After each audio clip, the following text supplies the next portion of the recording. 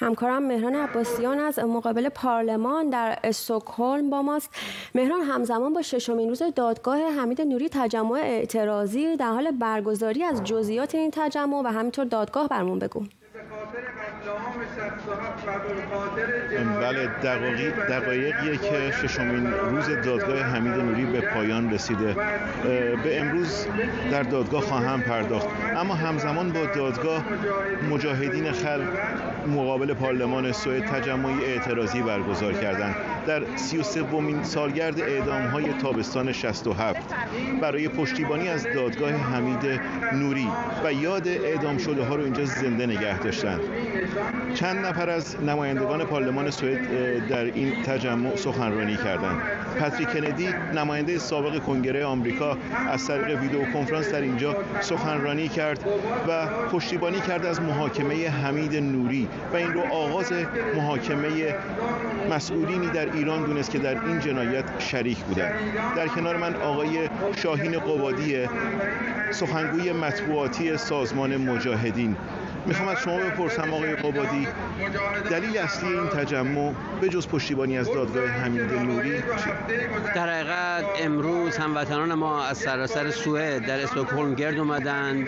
به مناسبت 33 و سالگرد قتل عام سی هزار زندانی سیاسی که بیش از 90 درصد اونها رو هواداران و اعضای سازمان مجاهدین خلق ایران تشکیل می‌دادن ایرانیا خواستار محاکمه سران رژیم مشخصا خامنه ای و رئیسی شدن به خاطر جنایت علیه بشریت به خاطر نسل و مشخصا همونجور گفتم قتل عام سال 67 توسط دادگاه های ایران فردای آزاد یا دادگاه ها و مراجع قانونی بین‌المللی که امیدوارم اولیش زودتر محقق بشه و در دادگاه های ایران فردا محاکمه بشن. و اینها همینطور خواستار این شدن که سازمان ملل یک تحقیقات مستقل رو در مورد این قتل عام انجام بده چیزی که تا کنون محقق نشده و هموطنان مجد خواستار بودن. البته آنچه که 2000 نفری که امروز در این بودن خواستار اون شدن در حقیقت که خواست اکثریت قاطع مردم ایران هست. خب شما در پنج روز دادگاه حمید نوری مقابل دادگاه بودید.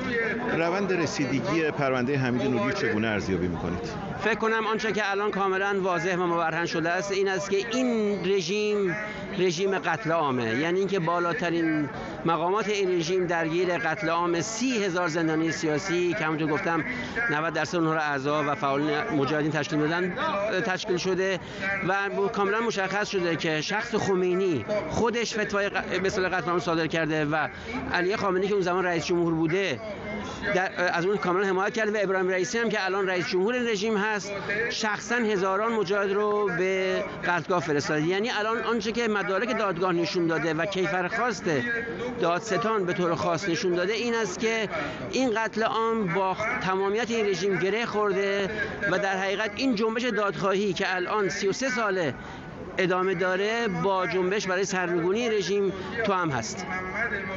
بله امروز در ششمین روز دادگاهی حمید نوری به سخنرانی یا صحبت‌های اولین شاکی پرداخته شد. آقای ایرج مستاقی در دادگاه امروز صحبت کردند عنوان اولین شاکی. دادستان از جزئیات زندان از آقای مستاقی سوال کرد. از راهروی مرگ پرسید از شکنجه ها پرسید. از افرادی که در زندان مسئول بودند ایرج مستاقی در آخر صحبتهاش به این اشاره کرد که بعد از دو موج اعدام ها که در تابستان 67 بود زندانیان سیاسی خانواده هاشون رو در بله. سالن آمفیتئاتر ملاقات می‌کردن سالونی که همونجا این اعدام ها صورت گرفته بود. ایرج مستاقی گفت من به مادرم گفتم دوستان من رو اینجا اعدام کردن. جلسه بعدی هم چهارشنبه 25 آگوست است. ممنون. مهران با ما بوده مهران عباسیان از مقابل پارلمان در استکهلم.